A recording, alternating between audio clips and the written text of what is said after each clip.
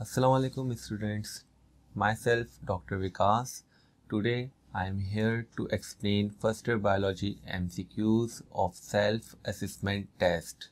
So let me start MCQs number 71. Botanical name of Susbania is option है हमारे पास A Cicer arietinum B Lens esculenta C Sesbania aegyptiaca D Arachis hypogeal and E Sesbania sativum Sesbania plant आपके पास जो है, वो belong करता है आपकी फैमिली फेबेसी से, और इसका हमारे पास करेक्ट आंसर है C sesbania aegyptiaca next MCQs हमारे पास है एमसीक्यूज नंबर सेवेंटी टू ठीक है? इसके अंदर हमसे पूछा गया है कि X and Y are the reactant in a chemical reactions for which E is the enzyme the product is that The first three stage in the reactions are shown. Number 1 X plus E arrow XE. Number 2 Y plus XE arrow XYE. Number 3 YXE arrow ZE. What is the fourth and final stage of this reaction? So so, इस M के अंदर students हमसे ये पूछा हुआ है कि X and Y आपके पास रिएक्टेंट है और अगर मैं आपको इनका simple mechanism first of all बताऊँ कि रिएक्टेंट जो हैं वो अपने सबस्ट्रेट की एक्टिव साइड के साथ अटैच होते हैं एंड देन इंजाइम उनको प्रोडक्ट्स के अंदर कन्वर्ट करता है ठीक है? And after the reaction enzyme product से सेपरेट हो जाता है और दोबारा अपने ओरिजिनल शेप में आ जाता है। तो यहाँ पे हमारे पास X and Y as a reactant हैं और जेड हमारे पास प्रोडक्ट है। तो फ़र्स्ट रिएक्शन के अंदर हमें ये पता चल रहा है कि एक्स जो रिएक्टेंट है वो इंजाइम के साथ अटैच हो रहा है और देन सेकंड के अंदर हमें ये पता चल रहा है कि जो वाई रिएक्टेंट है, वो भी हमारे पास इंजाइम के साथ अटैच हो रहा है और यहाँ पे हमारे पास इंजाइम सबस्ट्रेट कॉम्प्लेक्स बन रहा है और वो इंजाइम सबस्ट्रेट कॉम्प्लेक्स हमारे पास है X Y E then enzyme जो है वो इन रिएक्टेंट को प्रोडक्ट्स के अंदर कन्वर्ट करता है और हमारे पास प्रोडक्ट है ई जेड और इंजाइम जो है हमारे पास इन रिएक्टेंट को प्रोडक्ट में कन्वर्ट करता है और हमारे पास आफ्टर दिस हमारे पास कॉम्प्लेक्स बन जाता है जेड एंड ई का। जेड जो कि हमारे पास प्रोडक्ट है और इसके बाद जो इंजाइम है वो अपने प्रोडक्ट से सेपरेट हो जाता है। तो हमसे यही पूछा गया है कि आपके पास फोर्थ रिएक्शन में क्या होगा? और फोर्थ रिएक्शन में यही होगा कि जो इंजाइम है वो अपने प्रोडक्ट से सेपरेट हो जाता है।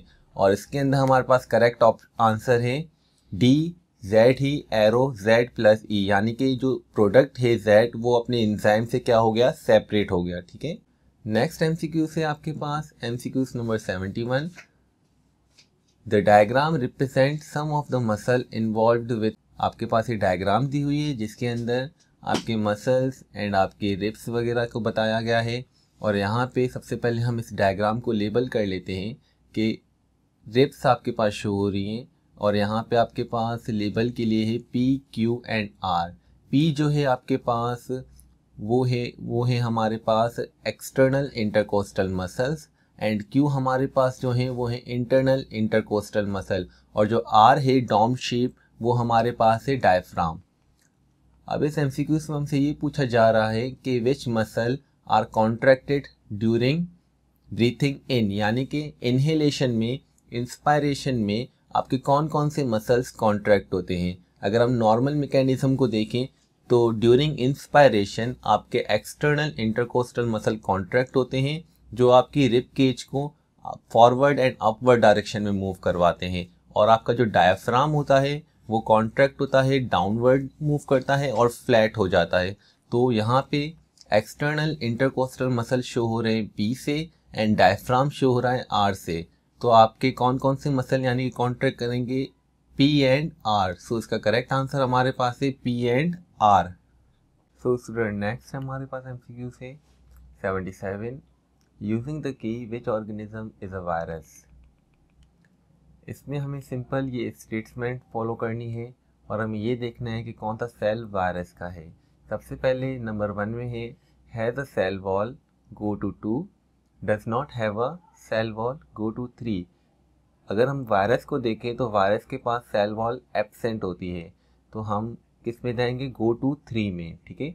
और थ्री में जब हम देखते हैं तो यहाँ पर भी हमारे पास तीन स्टेटमेंट है कि has a cell membrane has a protein coat has both cell membrane and protein coat organism E अगर हम देखते हैं कि वायरस के पास सेल मेम्ब्रेन नहीं होती वायरस के पास ओनली प्रोटीन कोट होती है, जिसको हम कैप्सिड कहते हैं तो इसके अंदर हमारे पास करेक्ट आंसर होगा has a protein coat which is organism D जो कि हमारे पास वायरस है। नेक्स्ट एम हमारे पास है all are feature of aves except अब ऑप्शंस पढ़ते हैं सिंपल हम लोग पहले. Number A feathers involve in endothermy यानी कि जो एप्स होते हैं बर्ड्स होते हैं, उसके जो फीदर्स होते हैं, वो उनके इंटरनल बॉडी टेम्परेचर को मेंटेन करने में इन्वॉल्व होते हैं. जी, ये बिल्कुल करेक्ट है एप्स के लिए. नंबर बी है हमारे पास फीदर इन्वॉल्व इन फ़्लाइट जी, बिल्कुल उनके जो फीदर्स होते हैं, वो उनको फ़्लाइट में हेल्प करते हैं, उनकी एक अडेप्टशन से फ़्लाइट की. ऑप्शन सी देखते हैं दे आर पॉकिलोथर्मिक जबकि हम अगर क्लास एफ्स के बारे में पढ़ते हैं तो क्लास क्लास एफ्स के जो हमारे पास एनिमल्स होते हैं बर्ड्स वो वार्म ब्लड होते हैं, यानी कि वो होम्योथर्म्स होते हैं। जबकि यहाँ लिखा हुआ है दे आर पॉकिलोथम्स तो ये एफ्स का पॉइंट नहीं है, ये एफ्स का फीचर नहीं है। और नेक्स्ट टू पॉइंट पढ़ते हैं हम लोग तो ऑप्शन डी में है हमारे पास हार्ट इज़ फोर्थ चैम्बर बिल्कुल करेक्ट एंड ऑप्शन ही ई में है हमारे पास फर्टिलाइजेशन इज़ इंटरनल जी, ये भी हमारे पास क्लास एप्स के अंदर जो बर्ड्स होते हैं, उनके अंदर फर्टिलाइजेशन इंटरनल होती है। तो सारे के सारे फीचर्स हमारे पास क्लास एप्स के फीचर्स हैं एक्सेप्ट किसको छोड़ के? दे आर पॉकिलोथर्मिक तो हमारे पास करेक्ट आंसर क्या होगा? C they are poikilothermic next M हमारे पास है। Does the diagram below contain any mistake ये हमारे पास न्यूक्लियोटाइड की चेन की एक डायग्राम दी हुई है। जिसके अंदर हमें ये पूछा गया है कि इस डायग्राम के अंदर कोई मिस्टेक्स आपको नज़र आ रही हैं या नहीं आ रही। अब जब हम लोग पहले इन डायग्राम को देखते हैं तो ब्लैक डॉट शो हो रहा है फॉस्फेट को एंड स्क्वायर आपके पास जो है वो बेस है एंड ये जो राइबोस चेन है वो है डी ऑक्सी राइबोस यानी कि ये डीएनए का मॉलिक्यूल है आपके पास, और ये डीएनए की चेन है। अब यहाँ पे पहले फ़र्स्ट में देखें कि adenine attached nitrogenous base second में देखें कि ग्वानिन अटैच्ड है, और थर्ड में देखें कि साइटोसिन अटैच्ड है एंड फोर्थ में देखते हैं कि यूरोसिल अटैच है, जबकि हम जानते हैं कि डी राइबोस शुगर के साथ, यानी कि डीएनए के साथ यूरोसिल की जगह थाइमीन होता है। तो यहाँ पे हमें सिर्फ़ ये नाइट्रोजनस बेस की एक सिंपल एक सिंगल सो यहाँ पे हमारे पास एक नाइट्रोजनस बेस की मिस्टेक नज़र आ रही है, जिसके अंदर थाइमीन की जगह यूरेसिल है। तो यहाँ पे हमारे पास ऑप्शन है A no mistake B one और more mistake C diagram is not clear to notice mistake D only one mistake and E none of these यहाँ पे हमारे पास सिर्फ़ एक ही मिस्टेक थी नाइट्रोजनस बेस की तो करेक्ट आंसर हमारा होगा D only one mistake so next M हमारे पास है eighty four use the figure and answer the जिसके अंदर हमारे पास है ए जो शो हो रहा है, वो है एंटीपोडल न्यूक्लियस बी जो है वो है डाइप्लॉइड है एंड सी जो है वो है साइनर्जेट न्यूक्लियस अगर हम याद करें लाइफ साइकिल ऑफ़ एंजियोस्पर्म की, कि जो डाइप्लॉइड होता है, यहाँ पे डबल फर्टिलाइजेशन की वजह से ये डाइप्लॉइड कन्वर्ट हो जाता है एंडोस्पर्म में, ठीक है? तो यहाँ हमें यही पूछा गया है कि the function of part labelled B is कि बी आपके पास है उसका फ़ंक्शन क्या होता है? Formation of zygote formation of embryo formation of endosperm both B and C and none of these तो अभी हमने डिस्कस किया कि जो बी है, यानी कि जो डायप्लॉइड न्यूक्लिया है, वो कन्वर्ट हो जाता है एंडोस्पर्म में।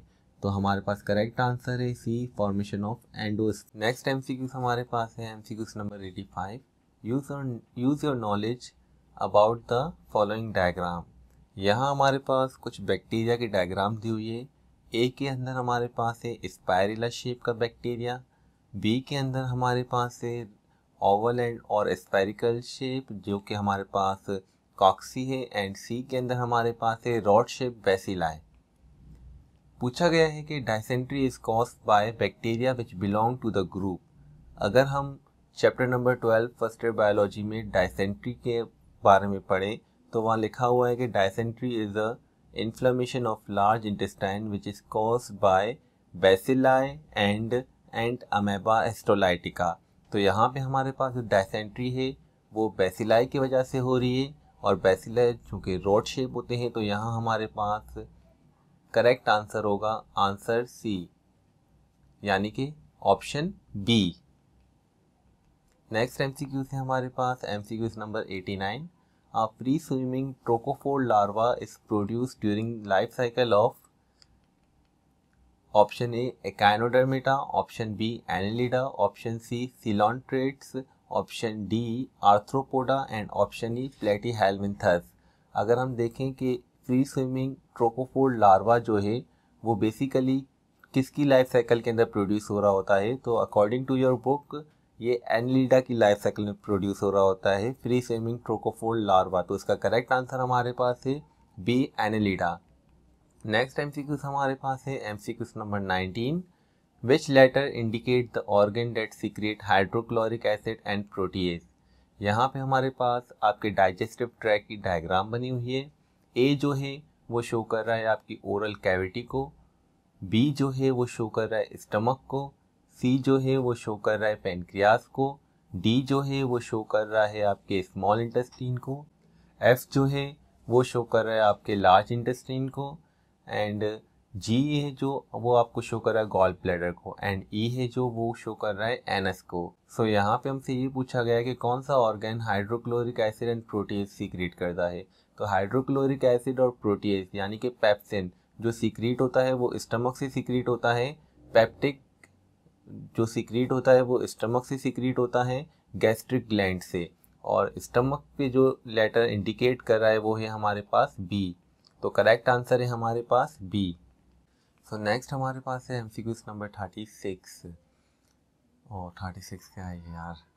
तो नेक्स्ट हमारे पास है MCQs number ninety six the diagram show some cell in the root of a plant that is absorbing water from the soil diagram के अंदर ये शो रहा है कि ये प्लांट की रूट है जो वाटर एब्जॉर्ब कर रही है। तो यहाँ पे हमारे पास तीन सेल है, वन, टू एंड थ्री, और वन से अराइज हो रही है रूट हेयर, ठीक है? तो पहले जो वाटर एब्जॉर्ब होगा तो वाटर सबसे पहले इंटर होगा वन में देन इंटर होगा टू में एंड देन इंटर होगा थ्री में।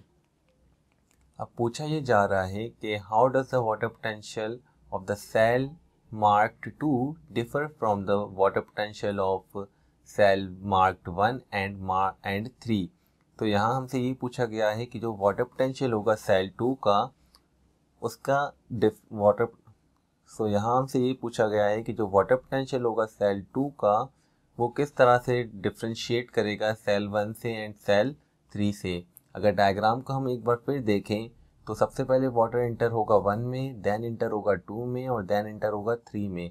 तो सबसे ज़्यादा जो वाटर पोटेंशियल होगा, वो होगा वन का, उसके बाद उसके बाद जो होगा, वो होगा टू का एंड देन उसके बाद जो होगा, वो थ्री का होगा। तो टू का जो वाटर पोटेंशियल है, वो वन के कंपैरिजन में कम होगा और थ्री के कंपैरिजन में ज़्यादा होगा।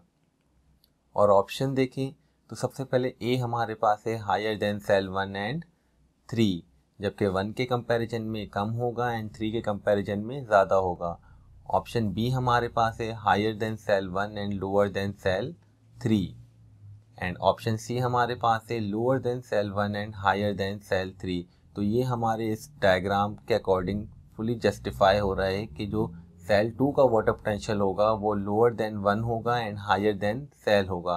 तो हमारा करेक्ट आंसर है option C lower than cell one and higher than cell three next MCQ से हमारे पास एमसीक्यूज नंबर 97 जिसके अंदर ये पूछा जा रहा है कि during a cardiac cycle the pressure in the right ventricle is lower than that in the right atrium and lower than that in the pulmonary artery which is correct और हमारे पास ऑप्शन दिए हुए हैं और टू कॉलम्स बने हुए हैं। एक कॉलम के अंदर लिखा हुआ है कि एट्रोवेंट्रिकुलर वॉल्व के बारे में और दूसरे कॉलम में लिखा हुआ है फेमिल्यूनर वॉल्व के बारे में।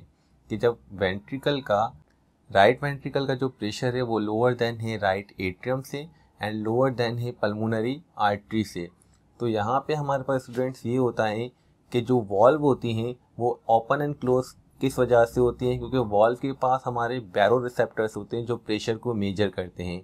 जब वेंट्रिकल का प्रेशर लोअर देन एट्रियम होता है तो ए बी वॉल्व जो होती हैं, यानी कि एट्रियो वेंट्रिकुलर वॉल्व जो होती हैं, वो हमारे पास ओपन हो जाती हैं।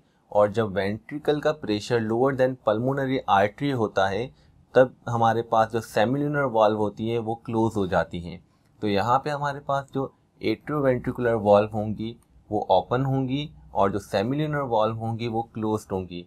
तो इसका हमारे पास करेक्ट आंसर है। आंसर सी, के एंड एट्रियोवेंट्रिकुलर वॉल्व ओपन होंगी और सेमिलुनर वॉल्व क्लोज होंगी। नेक्स्ट एमसीक्यू है हमारे पास MCQs number 98 which is correct about the organelle list in the table अब यहाँ पे हमारे पास फोर ऑर्गेनल से number one lysosome number two mitochondria number three rough endoplasmic reticulum and number four lysosome और यहाँ हमारे पास तीन कॉलम हैं। Carry out transcription contain enzymes and contain ribosomes अगर हम लोग लाइसोसोम को देखें कि लाइसोसोम में हमारे पास कोई ट्रांसक्रिप्शन नहीं होती। सेकंड लाइसोसोम के अंदर हमारे पास इंजाइम प्रेजेंट होते हैं यस एंड थर्ड लाइसोसोम के पास राइबोसोम्स होते हैं नो लाइसोसोम के पास राइबोसोम्स नहीं होते। सेकंड पे आते हैं।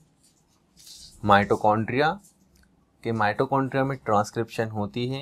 दस mitochondria contain enzyme yes mitochondria contain enzyme but यहाँ हमारे पास लिखा हुआ है no and mitochondria contain ribosomes yes mitochondria के पास अपने राइबोसोम्स होते हैं, लेकिन अपने इंजाइम भी होते हैं। तो माइटोकॉन्ड्रिया हमारे पास सही नहीं मतलब कि माइटो सो माइटोकॉन्ड्रिया हमारे पास करेक्ट नहीं है। थर्ड हमारे पास है rough endoplasmic reticulum carry out transcription तो रफ एंडोप्लाज्मिक रेटिकुलम के अंदर ट्रांसक्रिप्शन नहीं होती, बल्कि ट्रांसलेशन होती है। तो यहाँ पे लिखा हुआ है यस जबकि यहाँ आना चाहिए no and contain enzymes rough endoplasmic reticulum के पास इंजाइम्स नहीं होते, जबकि यहाँ लिखा हुआ है yes and contain ribosomes yes rough endoplasmic reticulum के साथ राइबोसोम्स अटैच होते हैं यस लेकिन बाकी दो कॉलम में यस यस लिखा हुआ है, जबकि नो आना चाहिए तो ये भी हमारा करेक्ट ऑप्शन नहीं है। एंड फोर्थ हमारे पास है vacuole carries out transcription no yes vacuole के अंदर ट्रांसक्रिप्शंस नहीं होती। कंटेन इंसाइम्स यस जो प्लांट वैक्यूल्स होते हैं, उनके अंदर इंसाइम्स प्रेजेंट होते हैं। एंड कंटेन राइबोसोम्स नो जी, जो वैक्यूल्स होते हैं, उसके अंदर राइबोसोम्स प्रेजेंट नहीं होते। तो हमारे पास जो ऑप्शन वन एंड फोर है, यानी कि लाइसोसोम एंड वैक्यूल है, उसके बारे में इन कॉलम्स के अंदर करेक्ट लिखा हुआ है। इसलिए हमारे पास इनका आंसर क्या होगा? वन एंड फोर यानी कि ऑप्शन बी नेक्स्ट एम हमारे पास है। M number ninety nine the diagram show the volume of air breathe in and out while a person is breathing normally when at rest यानी कि person जो है, वो नॉर्मली ब्रीथ कर रहा है इनहेल कर रहा है और एक्सेल कर रहा है। They breathe out the deepest breath than they can and then breathe in as much as they can before breathing normally again यानी कि वो पर्सन है, वो डीपेस्ट आउट ब्रीथ मतलब कि जो वो एक्सपायरेशन कर रहा है, वो फोर्सफुली एक्सपायर कर रहा है डीपली एक्सपायर कर रहा है। और डीपली एक्सपायर करने के बाद वो इंस्पायर भी डीपली करेगा। तो डायग्राम के अंदर हमारे पास सिंपल एक ग्राफ के ज़रिए रिप्रेजेंट किया हुआ है लंग वॉल्यूम को, और सिंपल इसके अंदर जो ग्राफ हमारे पास शो हो रहा है, टू वाला, वो इसकी नॉर्मल ब्रीथिंग को शो कर रहा है। और वन एंड थ्री जो है, यानी कि उसका पहले वो डीपेस्ट एक्सपायरेशन कर रहे हैं, यानी कि वो ग्राफ नीचे जा रहे हैं, यानी कि लंग वॉल्यूम कम हो रहा है। जब वो फोर्सफुली एक्सपायरेशन करेगा तो फोर्सफुली एक्सपायरेशन करने के बाद वो फोर्सफुली इंस्पायर भी करेगा।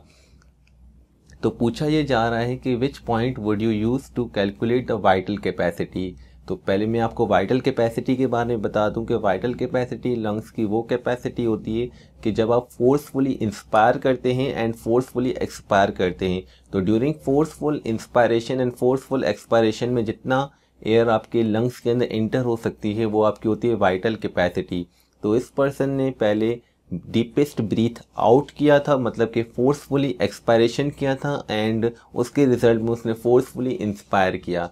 तो आपकी जो वाइटल कैपेसिटी होगी वो वन टू थ्री होगी।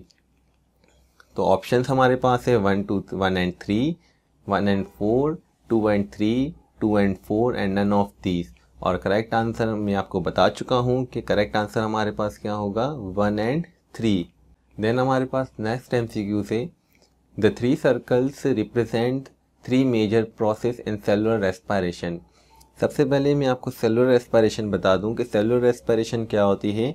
Oxidation of food to produce energy तो यहाँ पे अगर मैं आपको सबसे पहले थ्री इन तीनों प्रोसेस के नाम बताऊँ तो ग्लूकोज जो है वो सबसे पहले इंटर होता है प्रोसेस ए यानी कि ग्लाइकोलिसिस के अंदर, जिसके रिज़ल्ट में आपके पास पायरोविक एसिड बनते हैं, और देन ये पायरोविक एसिड इंटर होते हैं प्रोसेस टू में एक लिंक रिएक्शन के ज़रिए। तो ये प्रोसेस टू हमारे पास जो है वो क्रैप साइकिल है। देन ग्लाइकोलिसिस के रिज़ल्ट में और क्रैप साइकिल के रिज़ल्ट में जो हमारे पास प्रोडक्ट बनते हैं, यानी कि NADH एंड एफएडीएच वो इंटर होते हैं इलेक्ट्रॉन ट्रांसपोर्ट चेन के अंदर, यानी कि प्रोसेस थ्री सी के अंदर, जहाँ के एंड एफएडीएच की ऑक्सीडेशन होती है और उनसे एटीपी बनाई जाती है। और पूछा ये जा रहा है कि which is true about process C यानी कि इलेक्ट्रॉन ट्रांसपोर्ट चेन के बारे में पूछा जा रहा है। तो ऑप्शन ए हमारे पास है it requires water option B हमारे पास है it result in the by product pyruvic acid option C हमारे पास है it involves the membrane structure ATP synthase and option D हमारे पास है it only occur in animal not plant and option E है नन ऑफ़ दीज तो मैंने आपको अभी ही बताया कि ऑप्शन सी जो कि इलेक्ट्रॉन ट्रांसपोर्ट चेन है, जिसके अंदर NADH एंड एफ़ की ऑक्सीडेशन होती है ATP बनाने के लिए। और ATP बनाने के लिए हमें चाहिए होता है ATP सिंथेस तो यहाँ पे हमारे पास जहाँ ए सिंथेस के बारे में डिस्कस किया हुआ है, वो है option C it involve the membrane structure P synthase so correct answer हमारे पास होगा C it involve the membrane structure P synthase so student यहाँ हमारी फ़र्स्ट ईयर बायोलॉजी के एम की एक्सप्लेनेशन ख़त्म होती है। इसी के साथ ही इजाज़त चाहूँगा, अपना ख्याल रखिएगा। अलाफ़ and all the best for your final exam